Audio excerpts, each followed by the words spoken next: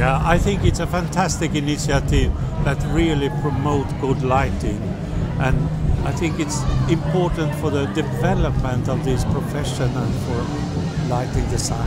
It's very important that light being promoted in many ways.